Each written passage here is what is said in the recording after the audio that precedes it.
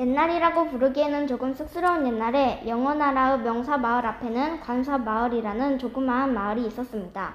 관사 마을에 살고 있는 어와 더는 명사 마을의 명사를 지키는 수호신들이었지요. 두 수호신들은 각자 능력이 달랐기 때문에 서로의 능력이 뛰어나다며 줄곧 말싸움을 하였습니다. 먼저 어가 자신의 능력을 뽐내었습니다. 어하하하 나는 내 뒤에 나오는 명사의 첫 글자가 자음일 때는 현재의 모습 어가 되지만 내 뒤에 나오는 명사의 첫 글자가 모음일 때는 분신술로 n이 될 수 있어 어때? 멋지지? 아하하하하 듣고 있던 더가 대답했습니다. 아, 그럼 버나나가 너 뒤에 나오면 어 버나나가 되고 애플이 너 뒤에 나오면 엔 애플이 되겠구나. 오호, 대단한 분신술이구나. 그리고는 더 역시 자신의 능력을 뽐내었습니다. 나 역시 너와 비슷하지만 다른 능력이 있으니 잘 들어봐. 나는 내 뒤에 나오는 단어의 첫 글자가 다음일 때 더라고 읽고 내 뒤에 나오는 단어의 첫 글자가 모음일 때 뒤라고 읽을 수 있어. 어와 더는 우열을 가리기 어려워 누가 더 능력이 좋은지 물어보기 위해 파닉스 왕에게 갔습니다. 파닉스 왕님, 파닉스 왕님, 제발 제가 더 능력이 좋은 수호신이라고 말씀해주세요.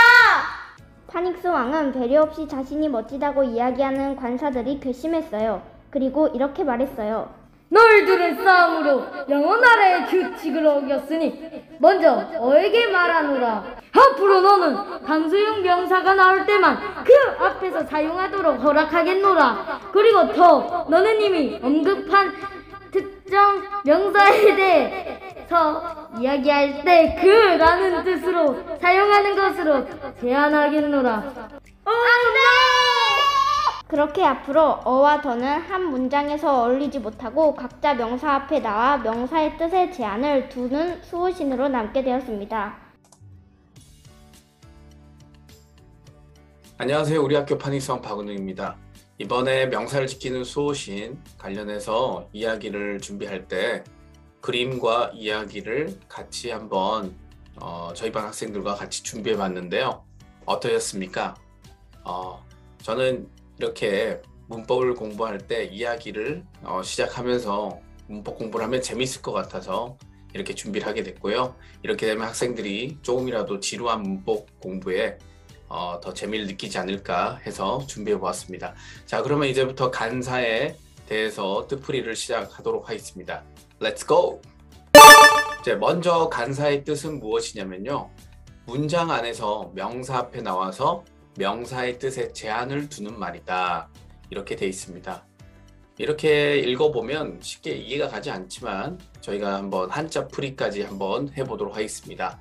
자, 관사하면 그 관이 갓 관자입니다. 머리에 쓰는 어, 갓을 얘기하는데요. 이런 것을 왜 문법에서 관사라고 했을까? 어, 그 이유를 한번 제 나름대로 한번 분석을 해봤어요. 자, 예전에 남자들은 왜 머리에 어, 갓을 쓰고 다녔는가? 조선시대 때 남자들이라면 머리에 갓을 쓰는 것이 어, 그 당연한 일이고 도리이고 예절이고 지켜야 할 일이었습니다. 그게 바로 예절이고 어, 양반집 자식이라면 이렇게 머리에 갓을 쓰고 다니거나 어, 평민 이상의 사람들은 이렇게 갓을 쓰고 다녔잖아요. 그래서 아 예의고 예절이다. 어, 그러면 이게 영어에서는 왜 간사는 왜 사용되는가라고 생각해 보면 자 명사 앞에 나와서 명사 뜻에 제한을 두는 것이 어찌 보면 영어에서는 당연한 일일 것이다. 음, 예절이고 그것이 바로 영어에 대한 어, 어떤 하나의 지켜야 할 그런 일이지 않을까. 그렇다면 그런 것들을 이름 붙일 때 간사라고 해보자라고 한 것 같습니다. 자, 말은 되게 이렇게 어려운데요. 간사에는 무엇이 있는지 한번 보시면 아 이거 하실 거예요. 자, 먼저 정간사 더라는 것이 있고요. 부정간사 어나 n이라는 것이 있습니다. 아, 왜 정간사이고 왜 부정간사인가? 이것도 한자를 보시면 정자는 정할 정입니다. 즉 특정한 또는 정해져 있는 이런 뜻이고요. 부정은 말 그대로 정해지지 않았다. 아닐 불이인데 뒤에 있는 지읒과 연결되면 부정 이렇게 읽잖아요. 그래서 부정, 아니다는 거죠. 정해져 있지 않다는 뜻입니다. 자, 대표적인 이 어와 더의 차이점을 어, 이야기로 한번 준비를 해봤습니다. 솔민, I have a dog. 자, 서연이란 친구와 솔민이란 친구의 대화글인데요. 솔민아, 난 내, 어, 난개한 마리를 가지고 있어. 어, 그랬더니 솔민이가 Really? 진짜? Can I see your dog? 너의 개를 볼 수 있을까? 서연이가 그러면 Sure, let's go. 물론이지, 우리 같이 가자. 그럼 서연이가 서연이 집에 도착을 하잖아요. 서연이 집에 솔민이와 서연이가 도착을 했습니다. This is the dog. 이게 바로 그 개야. 솔민이가 Wow, the dog is very cute. 와, 그 개는 정말 귀엽다. 자, 지금 이 대학을 보시면 빨간색으로 되어 있는 부분은 부정간사 어에 대한 설명이고 파란 글씨로 되어 있는 것은 더 정간사에 대한 것입니다. 예, 부정간사를 설명하는 것보다 정간사를 설명, 설명하는 것이 더 쉬울 수 있어요. 특정한 정해져 있는 앞에 미리 말했던 그 강아지에 대해서 다시 얘기하는 거잖아요. 그 개, 그 개. 그래서 이때 그란 뜻을 가지고 있는 더가 바로 정관사이다. 즉 정해져 있는 특정한 대상을 다시 한번 얘기하는 정관사이다라는 거고 어, 부정관사라는 건 정해져 있지 않다 라는 뜻이거든요. 그래서 I have a dog. 나는 그냥 개 한 마리 가지고 있어. 어, 이때 어, 특정한 개가 아니고 특정한 대상이 아니라 그냥 개에 대해서 설명을 하고 있잖아요. 그래서 개 한 마리를 가지고 있다. 어, 이렇게 되는데 저희가 어와 더의 뜻을 좀 더 자세하게 공부를 해보면 이 대화글이 더 쉽게 이해갈 수 있을 것 같습니다. 자, 먼저 어의 뜻을 한번 보겠습니다. 자, 먼저 첫 번째 그림을 보면 강아지가 이렇게 한 마리 있는데요. 어의 첫 번째 뜻은 I have a dog.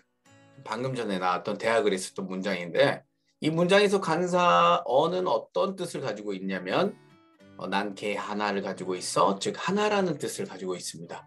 즉 어는 뒤에 나오는 명사가 단수 명사라는 것입니다. 즉 하나를 뜻하는 뜻이죠. 그런데 이 어의 두 번째 뜻이 또 숨어져 있습니다. 자 다른 예로서 어, 앞에 있는 그림을 보면 음, 노래를 부르고 있는 사람이 뭐죠? 네, singer 가수입니다. 자, I am a singer. 나는 가수입니다라는 문장인데 이 문장에서 간사어는 어떤 뜻을 가지고 있느냐면 아무 뜻도 없습니다. 어, 그렇다면 왜 있냐? 아무 뜻도 없는데 왜 있냐? 그 이유는 이 그게 바로 이 영어에 대한 문장에서 어가 가지고 있는 역할이에요. 아무 뜻도 없지만 명사 앞에서 그 명사가 어떤 명사다? 어떤 가수라고 하는 한 가지 종류 또는 한 가지 부류를 나타내는 단어 앞에 아무런 뜻도 없이 사용되는 거예요. 그래서 I am a singer에서 singer 앞에 어가 나옵니다. 네.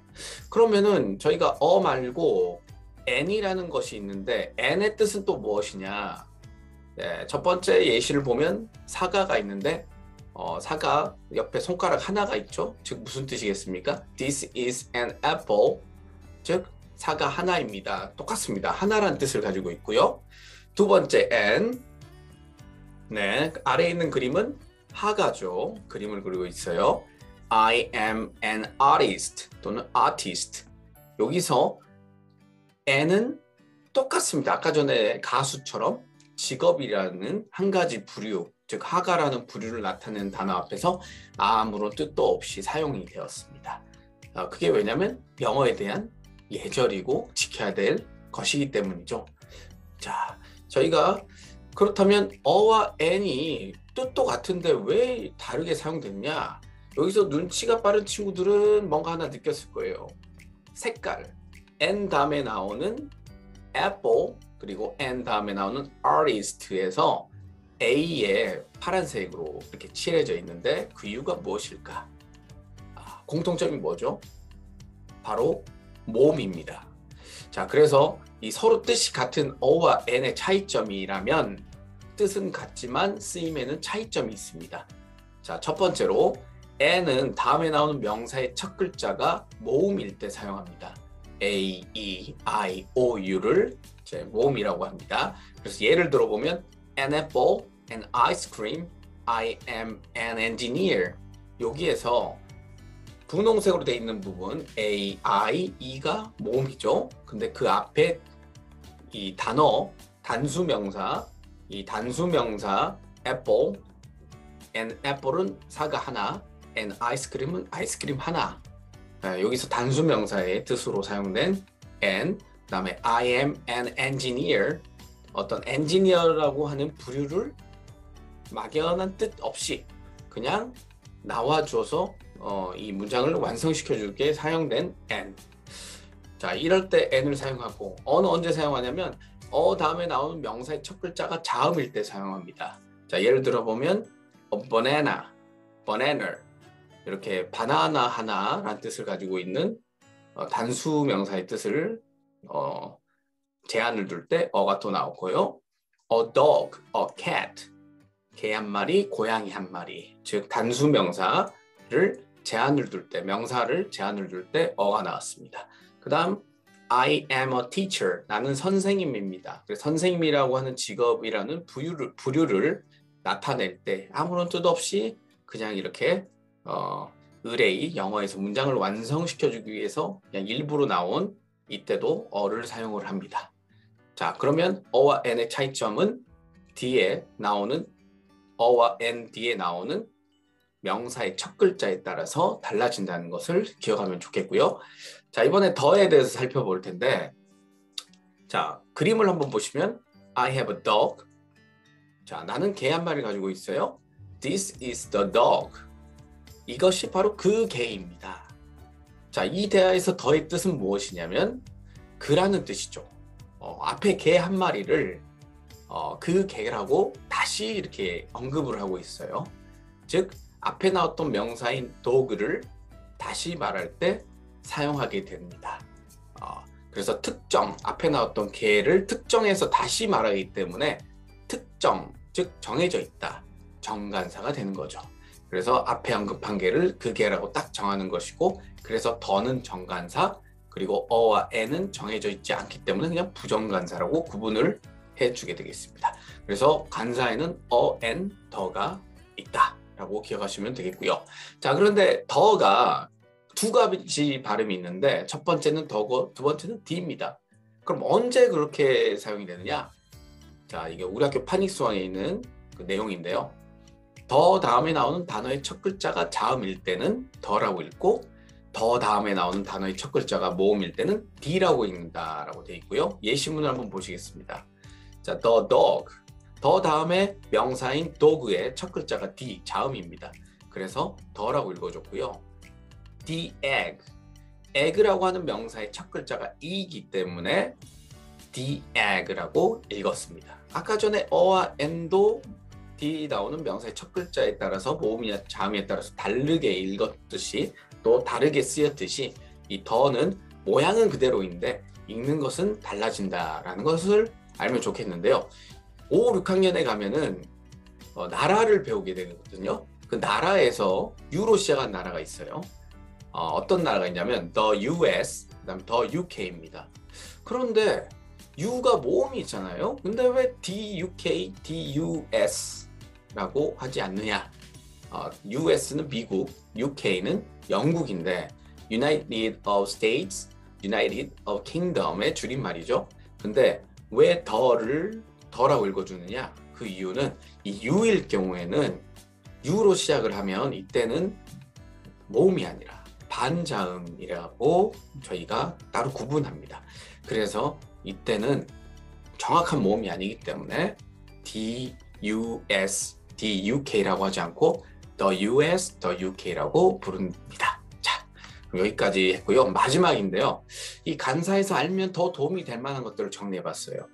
자, 아까 전에 공부했던 것들을 한번 정리해보고, 자, 이 정리한 것들을 바탕으로 저희가 다음에 간사의 문제풀이를 어, 풀어보도록 하겠습니다. 자, 첫 번째는 어와 에는 단수 명사와 함께 쓰입니다.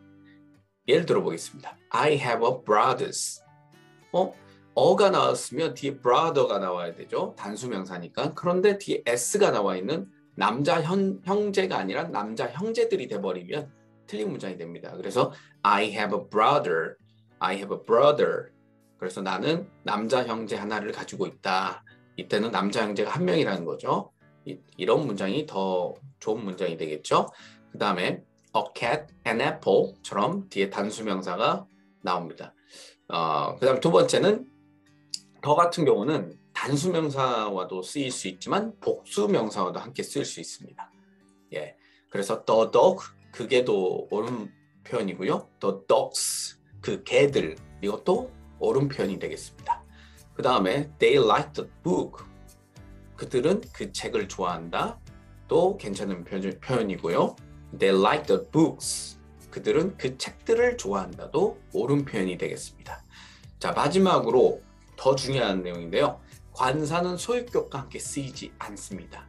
어, She is my sister. 그녀는 나의 여자 형제입니다. She is all my sister. 그녀는 나의 여자 형제 하나입니다. 자, 이럴 때 어하고 my를 같이 쓰지 않는다고 합니다.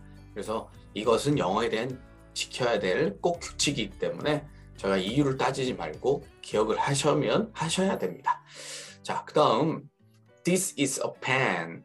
이것은 펜 하나입니다. This is my pen. 이것은 나의 펜입니다. 이거 다 옳은 문장입니다. 예, 그런데 This is a my pen. 자, 여기서도 문제가 뭐냐면 어 간사와 my 소유격이 같이 나왔기 때문에 틀린 문장이 되고요. This is the my pen.